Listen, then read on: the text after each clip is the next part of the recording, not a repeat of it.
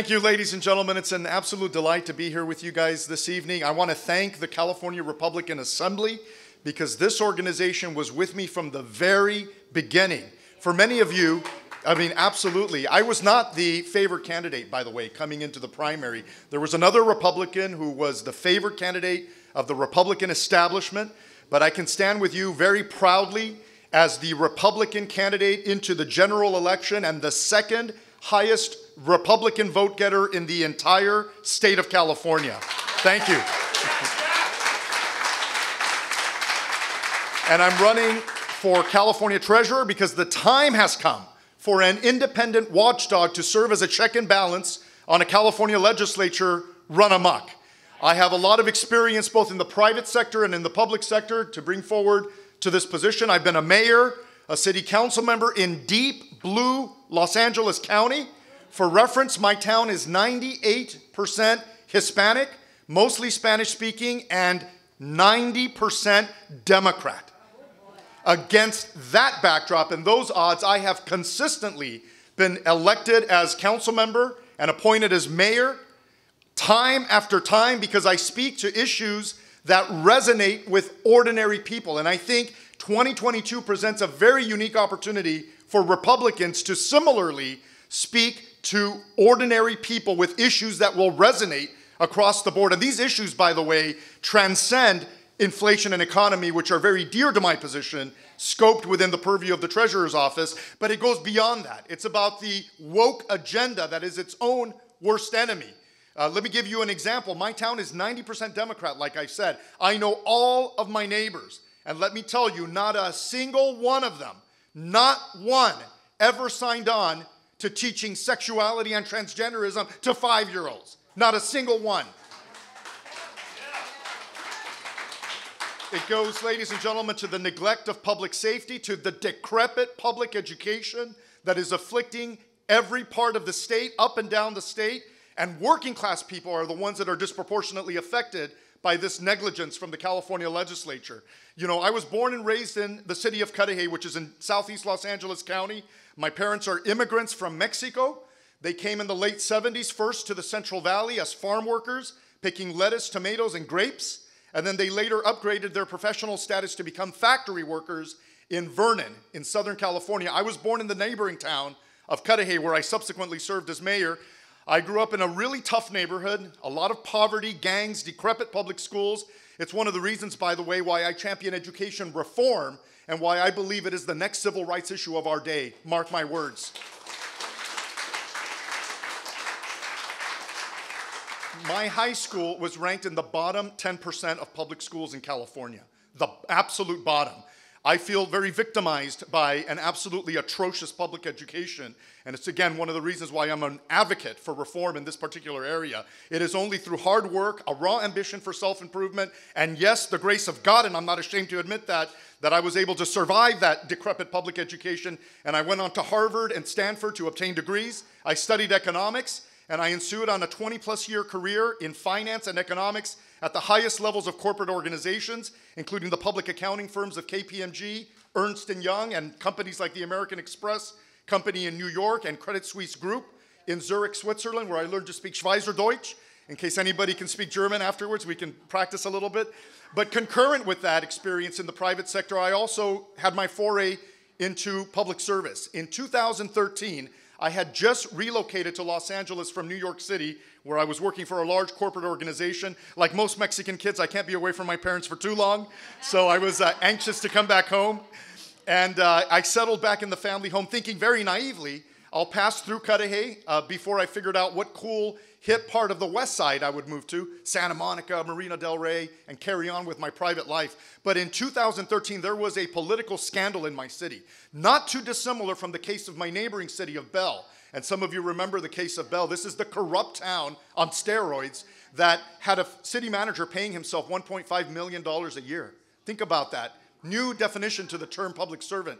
In a town where the income, the average income is $30,000 a year a disgusting violation of the public trust. My own city had a very similar episode of corruption. The dollar signs were a little bit smaller, but the conduct no less egregious. And when that episode happened, within two months of my relocation, I determined that I would find a good candidate to support for city council, and I would back that candidate before moving on with my private life.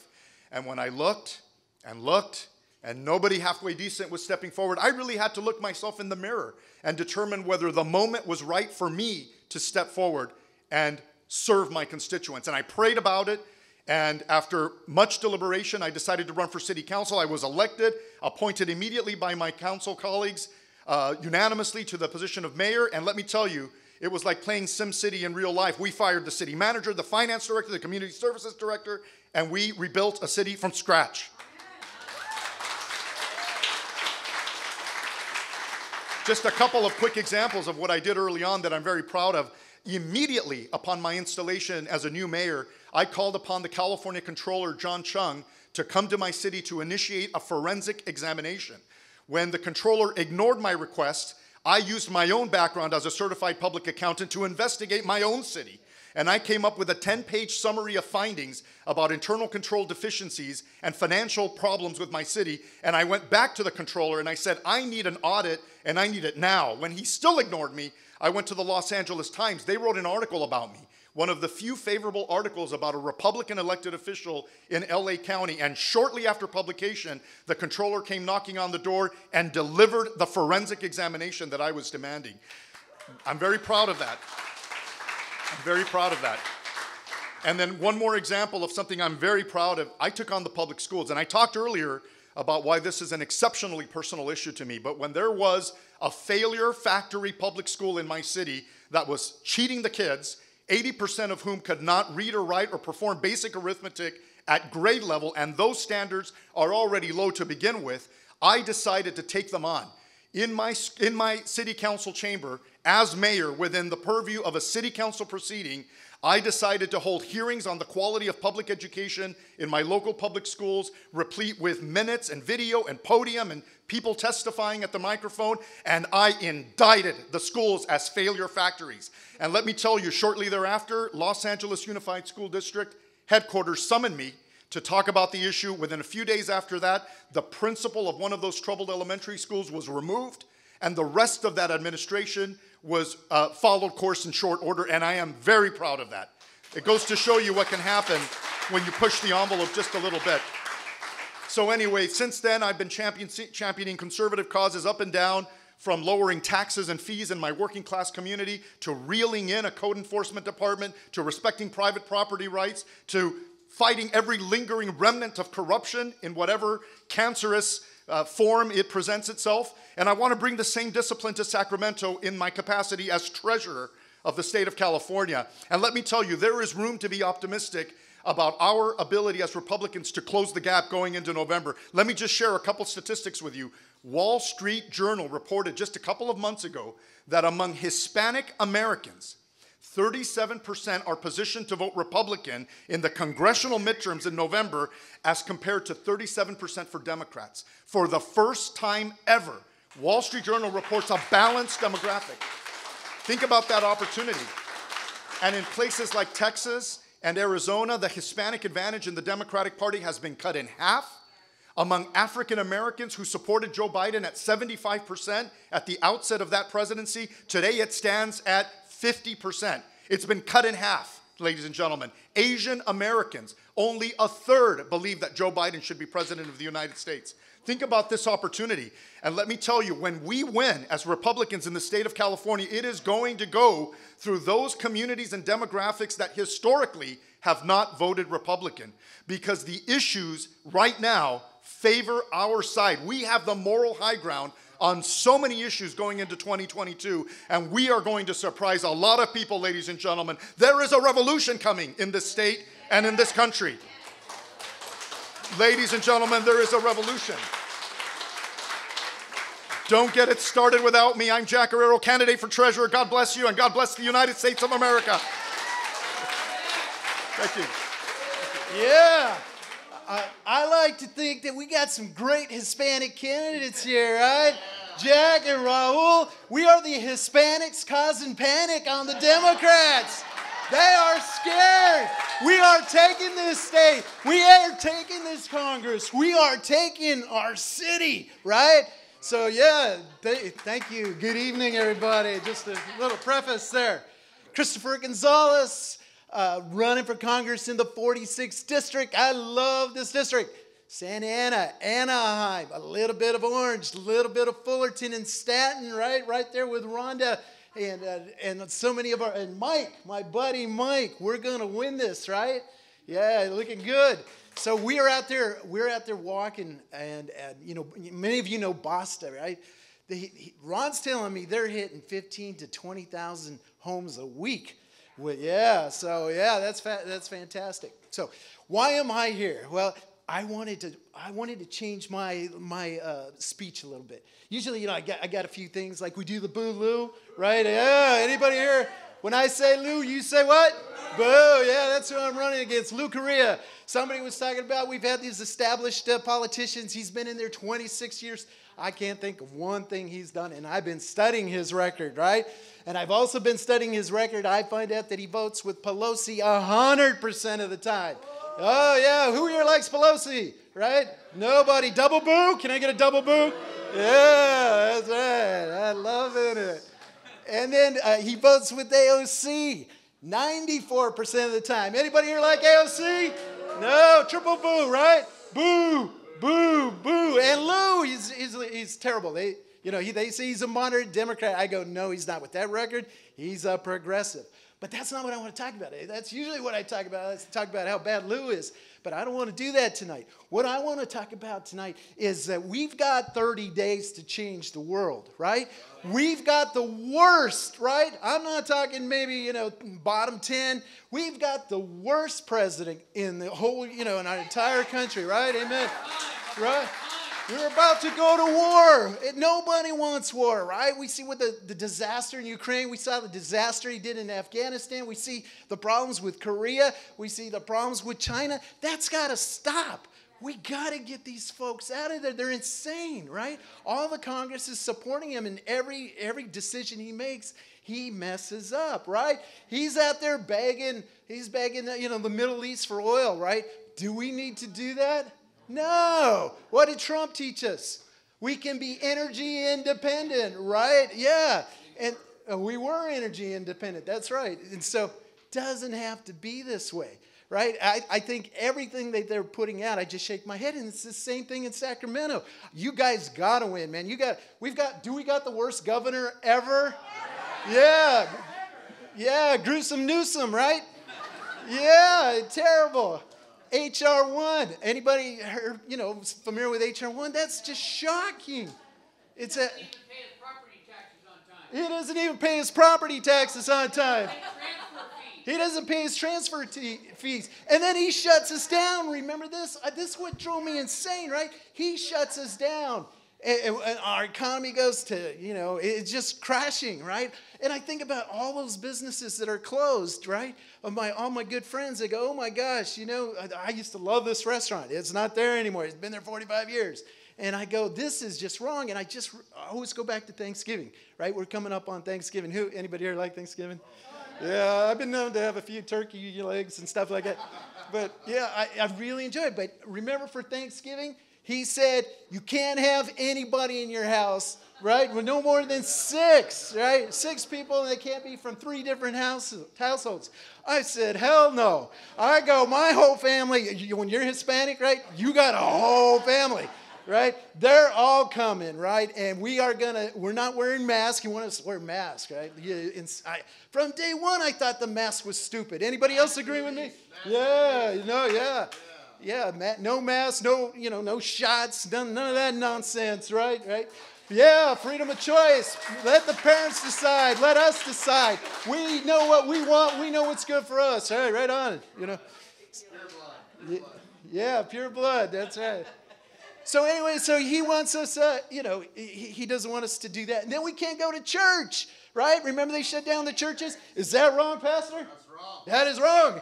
You know, I, I, that just drove me insane because uh, I'm very religious. I just love the Lord with all my heart. And, and, also, I wanted to start off with this, but I got a little sidetracked with the Hispanic housing panic. yeah. I wanted to say I love all of you. I've gotten to know most of you from this, this year of campaigning. You guys are the best. I thank you for all the support, always encouraging me. It's not always been looking great, but you guys lift me up and make me look good, you know. So, you know, uh, I'm thankful for that. And CRA, um, you know, I'm so proud of you guys. Faith, freedom, and what, it, what were you going to say? Oh, yeah, keep going. Faith, freedom, and family. So CRA is, you know, the great group. So thank you for that. So, okay, going back to what I was getting at, right? Yeah, yeah, I get a little distracted. So, yeah. But anyways, uh, we were talking about like, you know, at Thanksgiving and then he shuts down the churches. Well, that's what a federal, as a congressman, that's what we ensure. All those Bill of Rights, right? Anybody here like the Bill of Rights? Yeah, fundamental. Well, you know, they want to change all that. They want to nationalize abortion. They want to, uh, you know, chip away at our right for free expression, free religion. It's got to stop. It's got to stop. And Lou Correa, who I'm running against, always supports Biden. And, uh, you know, that, that's got to stop. So I keep saying, I'm going to put him into retirement and he's got to go. And I want to ask if you go, we got 30 days, 30 days to make a difference. If you can do something, do it now. You are going to see Gonzales, who's, you know, always got a ton of energy, he's going to go kill it.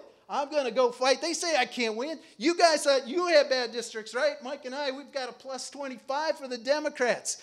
But when they told me I couldn't win, I said, yes, I can, because we know from Mark, right? I think it's Mark 10. With, uh, with man, uh, nothing is possible, but with God, all things are possible. Yeah, amen. Can I get an amen? All right. I don't know. Amen. So we, we can do this. And we're seeing the red tsunami, and I see Scott, but uh, two, more, two more seconds, Scott. We got the red tsunami coming in, and uh, we're going to change this world. I promise you that if you vote for any of us, get us in there, we will serve you to the best of our ability. I was trained by the United States military. That's how I live. That's how I will die. And I will practice my faith, uh, doing whatever I can to make the world a better place. So thank you, Scott. Pat is running for supervisor. Pat started by incorporating Laguna Niguel back in '89. She was the first on the on one of the she was one of the founding council members and the first mayor of the city. And then she went on, served in the assembly, served on the board of supervisors, went to the state senate, and now she's come back to the board of supervisors. And she's going against Katrina Foley. Katrina Foley. She's a witch. For those of you from Costa Mesa Republican Assembly, there, there are very few people I reserve the word evil for. She's one of those. She decided with redistricting of the Board of Supervisors that this district was going to be an easier district for her because she lives in Costa Mesa, she doesn't have to move, than it would be for her to go to the Santa Ana district, which was more of a plus 25D district. She thinks that she can win this district. It's a Republican district. We have one of our stalwart Republican candidates running against her. I'm looking for you to slaughter her by like 10 or 15 points, Pat. Please, please welcome Pat Bates. Well, I am so glad I came. There's so much energy in this room. If we all got up and started walking to Sacramento like the agricultural workers did and got their union, we would storm that place and we would take all those seats we need. I'm not kidding you guys. So it is here. We're going to do it. Um, I, want to, I want to give the background of how I got in, you guys, because I am termed out on November 30th. This was not on my bucket list to run for supervisor, I assure you. In fact, I had great plans with my husband, who has never learned to cook, so we don't eat well at home, because I've been gone a lot. That we would do the things, spend more time with the grandkids. Uh, my two oldest boys are now at the University of Utah. I'd go back, see the games, and all that. Well, I got the call because the survey was done, and not, not to any way, uh, you know, demean uh, my fellow Republicans that we ran uh, together in the uh, primary, the surveys were very convincing that I was the only one who probably would have a chance against the force. They were telling me that Katrina Foley is a force, and I said, What do you think I am? Hey, you guys, I've been doing this for 30 years. I have never lost an election. Excuse me, I lost the first assembly race because of North County, San Diego. Took, uh, I got lost by 600 votes. Just there in, in Orange County, I'd won significantly. They actually thought I was going to win, but when the, the same day voters came in, kind of obliterated my little edge.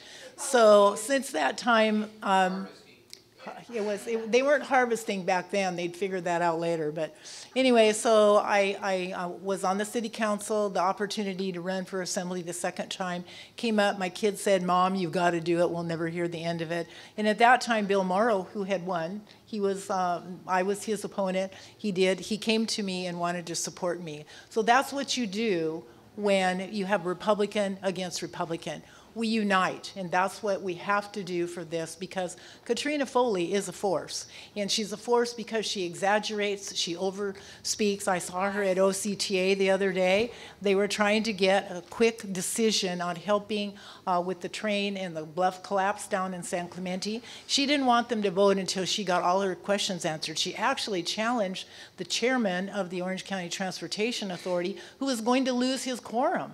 So I thought, that's not you know, that's not what we do in this business. We, we're supposed to be helping all of the people. That's why we're elected, right? I'm your representative. It is your government. It's of, by, and for the people. And I'm supposed to be up there following those goals that make your life good and best and better. So uh, when I was called upon to uh, get in. I, I really thought a lot about it, but when I saw the surveys and thought it, it might be that we would get a super, it's not a super majority, but a majority on our Orange County Board of Supervisors, I said, I got to do this because I have lived for six years in the Assembly and eight years in the Senate seeing what's happened to Sacramento. When I was in the Assembly, we had the two-thirds majority. They had to use, uh, had to, uh, we had an opportunity to, uh, to participate in the budget uh, we had a, uh, a chance to negotiate on a variety of bills, and some of the things that you've seen would never happen. We have got to get I was, we've got to get, I was going to say assembly member straight, I was jumping the gun, but we have got to get our assembly member people here uh, elected. They only need five more seats, I think it's eight more seats. In the Senate, we only need two more seats, and we will break the supermajority and start to rein in some of this craziness. On our Board of Supervisors, if we've got three Democrats, I assure you, we're going to get soft on crime. We're going to see the homeless encampments again because it's soft on homeless, especially those with mental health issues. They have been just uh, warehousing them, no services. The new care court, we have to give the governor one point. He did introduce care court, which will require that homeless, uh, those with mental health issues that are out uh, in the encampments have to be receive treatment. So that's a good thing. Unfortunately, the county's not going to get the kind of money the Republicans wanted in that program. We asked for 10 billion, they only went for 3 billion. We asked for 10 billion to help small business who are now having to pay the unemployment loans that we took from the federal government. They put 3 billion in, not 10 billion. So that will be on our small business for at least 20 years, I think, is the current. And you will know uh, when you get there, Jack. I mean, it's, it's really significant what's happening. So we don't want that at county government. And so we want Republican solutions. And I will tell you, the surveys now show if uh, uh, Katrina and I are neck and neck, especially because of the North County vote up here. Uh, if they know I'm a Republican, it flips and I beat her by 10% just at the start.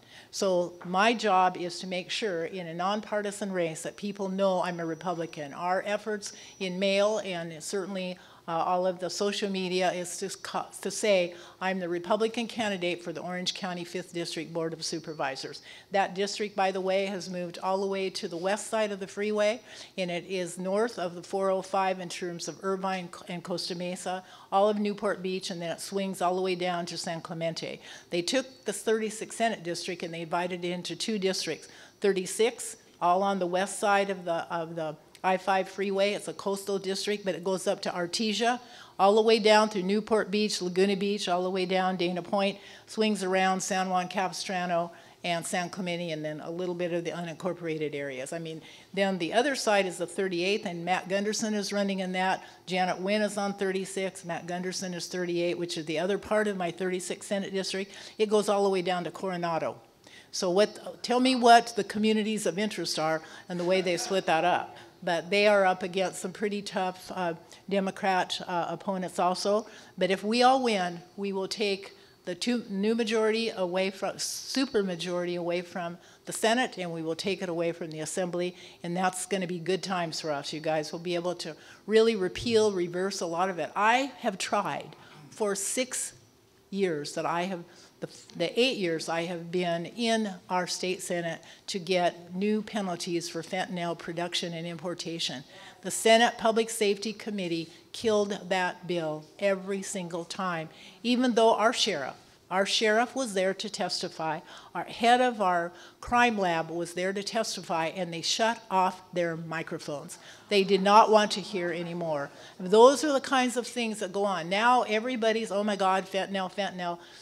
Eight years ago, we could have stopped that huge amount coming into this state from the cartels, but they did not want to do it. Now, I assure you, when the new session starts, there'll be like 10 fentanyl bills by Democrats, I guarantee it. And they'll get out of committee, and we don't know what they'll do. Hopefully, they'll do the right thing and really rein this thing in. It's a poison. It should be with our judiciary system. It really should be uh, looked upon as murder. And I know there were bills that would actually uh, classify it as that. So we need re Republican solutions. I've got to get on that Board of Supervisors. They're already talking about, oh my gosh, this is going to be great because we're going to have uh, a first time, and this is on social media for the Democrats, that we're going to have a Democrat uh, Board of Supervisors because Pat Bates is the only she's the hold something i forget exactly how they put it and i thought oh no you guys i'm going to be there but the unions are coming after me uh, you will see an article tomorrow in the register regarding uh, how uh, they have uh, spent uh, $400,000 plus to do video on me, and it's all about my age. That I am, and I'm an octogenarian. I've never kept that a secret. Uh, I have all the energy of a 60 or 50 year old. You ought to talk to the people that I work with up in the Capitol. They're all falling asleep at 2 when we're still negotiating a, the end of session, and I'm running around, I'm the whip trying to get everybody awake and vote. So I just happen to have a very good constitution. It runs in my family. They were all, um, actually, two of my grandparents lived past 100. So I al always said I'm going to be the Betty White of politics, you guys.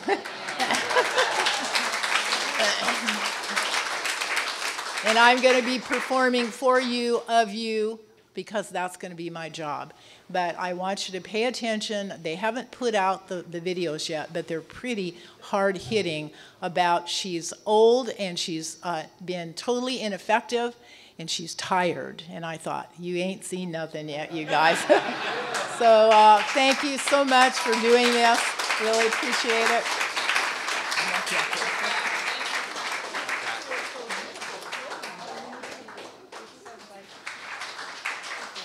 Well, thanks for having me. Um, Irvine's not in my district, so most of you might not be able to vote for me, but District 30 is up off the 605 freeway and the 60 freeway. It's mostly LA County. I have one Orange County city of Brea. The reason why I got involved in running for office was because two years ago, what I noticed was leaders were not standing up to lead. Our elected officials weren't standing up for the people. Our business leaders were shutting their doors and they were afraid to stand up. And by and large, most pastors were closing their doors. And I have no judgment for any of those people. I was really upset with them at the time, though. And then God put it on my heart what about you? Are you willing to get up and lead? So I decided to get up and run for state senate, and that's what I'm doing today. God's given me a heart for the people, though, to be praying because what I've recognized is that if God's people don't stand up, if they don't wake up, if they don't get involved in this season, we're going to continue to have a swamp in Sacramento and in Washington, D.C. The only way we get rid of the swamp is we have to get rid of the career politicians, which means that we need grassroots candidates that will stand up to represent the people to go and run for government office. That's the only way we clean the swamp. And like you said before, I am a plumber. I've been doing it for 30 years. I'm a really good plumber. I know how to fix the pipes in the wall. I know how to make them obey. but in politics, it doesn't work like that. I'm not really familiar with this whole politics things. But I guarantee you, if I get into our state legislature, I can pass laws, I can help pass laws that will benefit the people. Politicking isn't my game, fixing things is. And I guarantee you, there's a clog stopping the swamp from draining. And I know how to fix a clogged drain.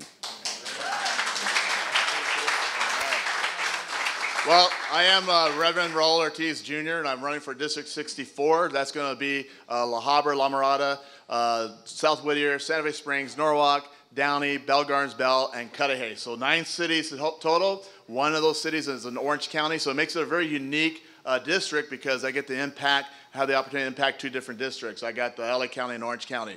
So uh, we got some really cool things going on right now uh, for our campaign in District 64. And so if you can connect with me at Raul Ortiz for uh, RaulForAssembly.com, RaulForAssembly.com, and you'll be able to connect me, get some updates because we got two big events coming up. We got a town hall on August, uh, no, I'm going to say August, in August still, October 27th. That's the town hall. We're going to be, uh, the topic's going to be about good governance and bringing integrity and character back into servant leadership. That's the topic, and how does that look like? What does it look like, right? So that's what we're going to be talking about in that town hall, and then that's going to springboard into uh, October 29th, where we're going to have a free, uh, freedom rally. And, and that freedom rally, we're going to be honoring our veterans. Because how do you thank a veteran? You know, we always thank veterans, thank you for your service, but how do you really thank a veteran? You thank a veteran by saying, you know, thank you for our freedom, because that's what they fought for. They gave their lives, they gave their limbs, they gave their mental health, uh, they gave a lot for our country. And, and, now, and what's another practical way that we thank our veterans? We thank them by exercising our constitutional rights. And that first constitutional right is the freedom of speech and religion. So every Sunday morning, when you get up and you go to church and you worship whatever place you worship, you're honoring those veterans by exercising your religious freedom. So that's what we're, that's what we're going to be focusing on, and that's where we're going to take that, that freedom march, and we're going to have, a good time. Red, white, and blue. Come dress up. Bring kids. We're going to have face painting. It's going to be a, a really exciting time. And then you might be wondering, why am I carrying this up here real quick? So this really fast. Well, I have a few more moments uh, with y'all. I just want to. Uh, how many have played baseball before? All right. How many coached baseball? All right. Uh, so in the little leagues, what, what, how, what's the width of home plate? Anybody know what the width is for home plate? 17 inches, correct. Now, from Little League to Pony, what is the width? Now, you got older boys, so what is the width of home plate? Anybody? 17 inches, that's correct. Now, from Pony League to high school, what is the standard? What is the, the width of home plate in high school? 17 inches, that's correct. Now, when you're going from high school to college, now these are bigger boys, right? So, what is the width of home plate in, in college ball? 17. 17 inches. Now, when you go to the, the professional leagues and minor league baseball, now these are pretty, you know, a lot older men. What is the width of home plate in minor league ball? 17 inches, correct. All right, now the coup de grace. Every boy's dream has played baseball before. They want to make the majors, right? Now they're in the Major League Baseball. What's, what's the width of home plate in Major League Baseball? 17 inches. From Little League all the way to Major, it's the standard is 17 inches, right? Now, what happens if in the majors, a big league pitcher goes up there and he can't hit a 17 inch target. What do you think they do? do you, they, one thing they do not do is like, oh, Jimmy, you couldn't hit that 17 inch target, so let's widen it to like 17 and a half, or maybe 20 inches. Try 20 inches, and, and if you still can't hit that target, we'll, we'll do 25, right? No, that doesn't happen. The standard from Little League to major is 17 inch target. That's what they get. Now, what happens when one of their top players, baseball players, making all the money, he is the number one player in that team. He shows up late for practice and uh, he's out there carousing. He's got scandals going on, but they just turn a blind eye. You know what they did? They widen the plate. They widen the plate. See? And you know, that's what's happened to the fabric of America in our, in our homes when a parent doesn't teach their children when we know the standards that they should be learning, what's right and what's wrong, and when, when they don't get accountability and they don't have those standards in that home, guess what? We widen the plate. When you go into our educational systems and we see what California's been producing, we've widened the plate. We keep on widening the standards. And then when we go into uh, to, to streets and we see the criminals and they're running amok and their sentences uh, don't fit the crimes no more, we've widened the plate.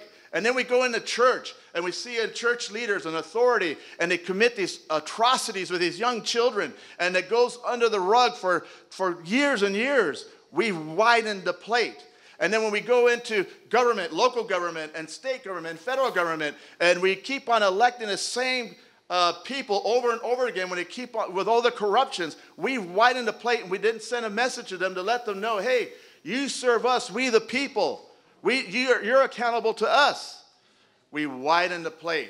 And if we keep going down that path and widening the plate and not holding them accountable, and we have that opportunity November 8th, where we keep electing the same thing over and over again, we're going to have darker days. Darker days. But this November 8th, we have an opportunity to turn that plate by electing the right people who have moral standards, who have standards, and are going to hold them high. And we, the people, make sure that we hold those people to a higher standard because they serve us. We serve you. You're the people, you're the, we, the people, you're our bosses. And elected politicians need to understand that and be rec- uh, remember that once again that we serve we the people. See, the 17 inches is for me it's for you, it's for everybody without exception. God bless America. Thank you. Um, hi, everyone. Uh, first of all, I want to say thank you to CRA for your endorsement. It means a lot to me to be endorsed by this organization. Second, thank you all for being here, giving up your Saturday evening to give us, the candidates, a few moments of your time. Really appreciate the fact that you're here to learn about all of us so that you could be our ambassadors to your friends and your neighbors. We need your help. I need your help because I have the biggest district of everyone here, I think. I have 34 cities in Orange County. Wow. All right? Uh, other than Jack, who's got this entire state. Um, in Orange County, I am the only judge office left. There were five of us in this particular office, Office 30. I am one of the top two vote getters, thanks to many of you I know um, in this room who helped me get there. So I need your help for the one last time. Um, I am a, currently I am a Deputy Attorney General. I've been serving there in the appeals, criminal appeals writs and trials section. I am also a city council member for the city of Yorba Linda. And my experience in law is very broad. It's 25 years of public service. Started out as a nonprofit attorney representing foster children, working with kids who are in gangs, at risk of being in gangs, as well as abuse victims. Went over to family court, was there really for a blink of the eye and discovered that's not fit for me. Then uh, went on to work on um, for the Department of Social Services and now with the Department of Justice. I have been in juvenile court, family court, civil court, administrative law court, criminal court. I've also worked in all levels of the courts. Superior Court, Court of Appeal, Cal California Supreme Court, and the federal district courts my practice has been so wide, which I believe is what is needed and qualified for this job. Because as a judge, you don't get to choose where you go. You, you go wherever the presiding judge um, asks you to go. And I will be the judge who is ready on day one because of this broad legal experience I have, practicing various fields of law, from child abuse to insurance fraud. Um, but most importantly, I, I carry this philosophy with me, and that is to do right, seek justice. I do not prosecute unless I have the evidence. If you ask any of the investigators I ever worked with, ranging from you know, your local police department to the CHP, they will tell you, I will say, if I'm not convinced, I'm not walking in there. Because if I'm not convinced, then I can't present it to uh, the jury or the, the bench officers. And that is a philosophy I will take as a judge um, to apply the law. not make the law. I'll leave that to, you know, Assemblyman Choi, um, Roa Rule, uh, to future Senator Mitch. Um, that's your job, the policymakers. I apply the law. And that's very important because judges do not make law, but I believe that it is important for all of you to look at who you're electing at the policymakers so that judicial officer like me will be able to apply that law fairly and with open-minded to be persuaded by the evidence before them um, as they look at meeting their proof. A little bit more is um, I need all of you to tell your friends and your neighbors because it's impossible for me to reach all 34 cities. Um, I've tried walking and I think that's becoming a problem uh, because you can't walk all 34 cities. So I really need all your help um, in this. Um, in this race, you can't be more different. You got a Republican, me versus a Democrat, a lifelong prosecutor versus a lifelong public defender. We can't be more different. I am all about law and order. And um, I don't know about my opponent, but I can say that um, for me, it would be all about upholding the Constitution, applying the law, and I forgot to mention um, also, don't forget my good friend um, Rhonda Shader. Got to get her into office. Um, and, uh, but I need all your help. And I, one last thing, I am one of those uh, politicians that never lie to you, and to, so to get your vote, so I will tell you this up front, so you know what you're getting. There are going to be times when you're not going to like my decision. And I'm going to tell you that's because I'm just applying the law. And the law is written that way. Well, that's how it is. And so I'm not going to lie to you. There are going to be days you're going to hate me. And then so go talk to all my good friends here who are going to be policymakers. Tell them to change the law. Thank you all so much for your time. Hi, everybody. So um, I, I took my third shower today and cleaned up for all of you. Um, and it's just because I absolutely love talking to voters. Um, because you know the I have a lot of ideas about how to get things done in Sacramento. I've been watching them for 7 years from the city council seat and have been very disappointed in a lot of things. Um, but the price of admission is winning this election, and I understand that. Um, and so I'm out talking to people. So I thought I'd share with you a little bit about what people are saying. And what you're going to say is, is like, that's what we all knew months ago. But I love hearing it from people. I love hearing it from their mouths and hearing them tell me because it fires me up about what I would do when I get there. Um, so today, I talked to a mom who was putting fall flowers inside her plants on the outside of her house, right? And I said, you know, I'm just wondering what issues are top of mind for you that you'll be thinking about, you know, as people run. I go, this is a Sacramento, so it's a state race, but you can tell me anything you want to tell me. I'm worried about my kids. I'm worried about my kids. I'm worried about the schools.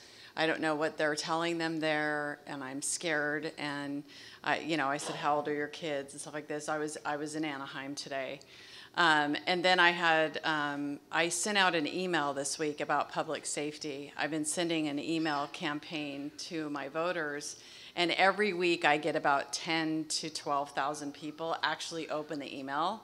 And my district is like 400,000 voters. It's giant. So I send out a lot of information.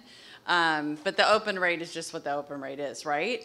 This week I finally did a public safety message, very simple and succinct, you know, that I'm, I'm displeased, I want to do something different. Over 22,000 people opened that email. And I, I've spent time on the phone this week with people. They're, they're not, they don't feel safe. Um, I, uh, my district runs from Santa Ana, the whole city of Santa Ana, the whole city of Anaheim, but not the hills, all of La Habra. I pick up a little Garden Grove, Orange, and of course Placentia a tiny bit, and then I go all the way to the unincorporated area of Whittier. So um, yeah, a lot of us candidates hang out because we overlap all over the place, um, and so. Uh, uh, the people, um, what I wanted to point out to you was that the riverbed runs along my whole entire district. And I have started to figure out that these people that live close to the riverbed have problems. They have public safety problems, they have homeless problems, um, and they are looking for solutions and they are looking for different. And I think we pivoted a few weeks ago talking to swing voters only. So I'm only going to mixed households or no party preference, which is 25% of my district. It's what I need to win. Um, and they are all leaning towards different every time I talk to somebody. So I'm really excited, but the question is, is how fast can I get to everybody, right? So hopefully you guys met Alex, my uh, campaign manager, and Connor's with us today. Connor's like, I want to help, and we're like, come to Irvine with us. so um, anyway, I'm so grateful for the help. I know every candidate is. Um, I'm grateful for you here today. Um, I um, have to tell you that I identify mostly with the Get Stuff Done party. Um, that's what I've done in Placentia to turn it around, and that's what I would love to do in Sacramento is just get in there and see how I could get creative and move the needle just a tiny bit. Um, I would love to do that and then work hard to get more people up there with me. So um, thank you for all you're doing. I know like we're preaching to the choir a little bit tonight, um, but I'm still in the fight. Let's not get tired. Let's keep going. We have a month left. Okay? Thank you. Thank you, Scott, and good evening, and also my longtime friend Christina Shea for running for CRA in Irvine, and good to see uh, some of the uh, familiar faces uh, and some people newly uh, meeting tonight. Uh, my name is uh, Steven Choi, uh, blue sign over there, relax Steven Choi. um, my new district is going to be uh, uh, 73. That includes entire city of Irvine, Tustin, and Costa Mesa. And the Costa Mesa is a traveling uh, district, and uh, as Scott was mentioning, is a minimum, depending upon which data you see, is uh, plus 13 uh, benefiting Democrats, more registered Democrats. Some even told me even 18%, depending upon, I guess, uh, conservative or, or, or, liberal data. Anyway, the question is uh, two questions. Do you like carpetbaggers? You love carpetbaggers? Who doesn't even uh, represent our district? She doesn't live in my district. She lives in uh, Ocean View Rich Home uh, in uh, Laguna Beach and uh, wants to take advantage of uh, the voter registration situation. And uh, just because uh, she's an incumbent Democrat, and I'm sitting incumbent uh, assembly member right now in my district, nobody else ran for the primary. So from the beginning, I ran against her, and I worked very, very hard. All the weekends that I had coming down to my district, Uh, knocking on the doors, uh, and uh, all the markets. I love to stand on the markets and shaking hands. Um, I did that. But it didn't make any dent. The difference was about the 13%. So do you know what the spread is right now at the assembly? Out of 80 assembly members, how many are Republicans? You're right. 19 out of uh, 80, one defected. In fact, uh, in my uh, career over there, two uh, defected. One became uh, independent and one became Democrat.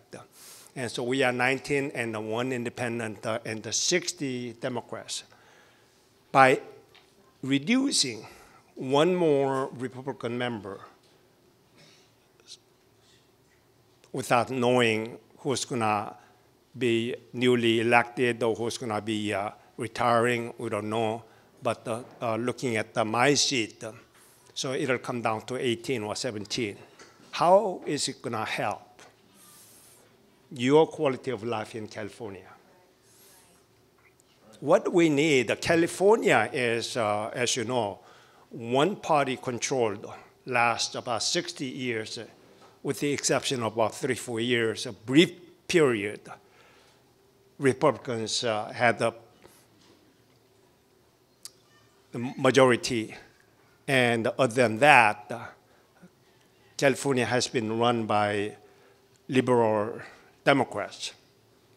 If you continue this kind of imbalance, you cannot complain. So many people are packing and leaving, all the businesses are leaving. And the sad part is that they don't know why they are leaving. They couldn't take it, too much tax, too much regulations, uh, and uh, too much uh, liberal policies at the schools, uh, and uh, you know, personal life. Uh, but they are the ones, at least half of them, they voted for Democrats to set up that kind of liberal extreme policies. And uh, they don't know how to blame, who to blame, and they leave our state. So I think the people who will be staying behind, they don't know how to change. We need to have a balance of power. 40 40 or close to. Right now, they don't need us. So even when we pass, they just simply ignore because they don't need our votes. That's the reality. So I am doing my best to fight back. And uh, the fund is uh, five to one. Uh, my opponent has uh, over a million dollars. Uh, I have only 200,000. And then I'm the soldier fighting, frontline soldier, fighting against the Russian in Ukraine. What does he need? To the soldier, how would you support? I need uh, ammo. I brought uh, my donation envelopes and uh, some information card there. If you ask me, I can give you a bundle of uh, my brochures. Uh, you can distribute to your neighbors, uh, maybe 20 houses to your right, uh, 20 houses to the left. Uh, that will help. I have uh, still four boxes left, and I don't know how I can distribute them all during the next, next 30 days. and then I had to cut down because of dwindling a fund, and then I had to cut down my um, one more mailer and then I'm doing my best mobilizing all the volunteers uh, like you. So uh, if you are not happy what is happening at the state uh, legislature, and the assembly is one thing, Senate is uh, also badly needed. We have 11 Republicans uh, out of 40. And we are dying species if we don't wake up and do something. And uh, Republicans are I 100% believe you are all Republicans uh, and here to rally and support us, uh, but you need to reach out to all the independents. That's what we focus upon. When I focus upon uh, independence for them to vote for me, Democrats will do the same thing. How do we sway? And that is to get my name out for independents to vote for me. And that's where you can come in and help and uh, keep this seat as a Republican seat. Otherwise, guess what? With a 13% Democrat registered voter situation, and in, uh, in the future it's going to be independent, uh, the Democrat, the incumbent, and the non-incumbent challenging her. Do you think uh, there's a chance, a better chance than current uh, Republican incumbent is fighting her. If there's any Republican has a chance, uh, that should be me. So that'll be forever democracy unless we keep our seat at this election. So your serious uh, commitment to help will be greatly appreciated. Thank you. Um, yeah, my name is Mike Tardif. I'm running for Assembly District 68, which is basically all of Santa Ana. includes West Orange, everything west of the 55 freeway in Orange, and a portion of West Anaheim. Um,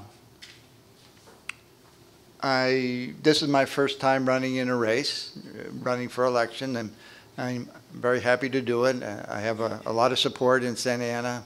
Um, there's a lot of people helping me, and I'm very grateful for that. And I'm really happy to, to meet so many, you know, just running for office. I, I get to meet a lot of new people, and I'm, and, and it's uh, very nice. Uh, met a lot of great people. My friend Chris Gonzales. Hey, Chris. and, everybody is very nice. Um, Kelly Felton, where's Kelly? Did she leave? Oh, okay. Kelly calls me her hero because one of the things that I was able to accomplish recently was I, I initiated, I didn't, well, yeah, I, I initiated a lawsuit with, with a lot of help um, to, to challenge um, a member of the Orange County Board of Education uh, who was holding two seats, two elected seats at the same time. Beckie Gomez. So I'm the person that challenged her in that lawsuit. Thank you. And uh, we were successful. She stepped down from the uh, Orange County Board of Education, and uh, we got a we got a new, uh, really good um, person to replace her, Jorge uh, Velardes, I think his last name is. Good guy. Um, Anyway, my issues uh, in Santa Ana, Anaheim, and Orange, um, there's to stop the gas tax. I don't know if you've seen my Facebook page, but I'm out there with a great big sign that says "Stop the gas tax." We take it uh, to the gas stations where we got two or three gas stations on the same corner, and we and we get a lot. Oh, there's another good friend, Kristen.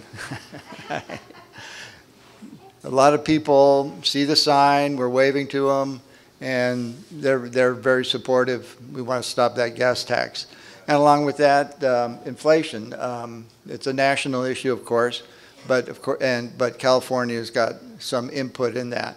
Um, the Democrat, the Democrat legislature increases taxes and champions their big government socialist, socialist agendas. Their policies have made groceries, gas, energy, medical care, water, and housing less available and unaffordable. The residents have less resources to care for their families. We need to stop the gas, and my um, campaign manager, Cecilia Iglesias, uh, she's very well known in Santa Ana, and, and, and Orange.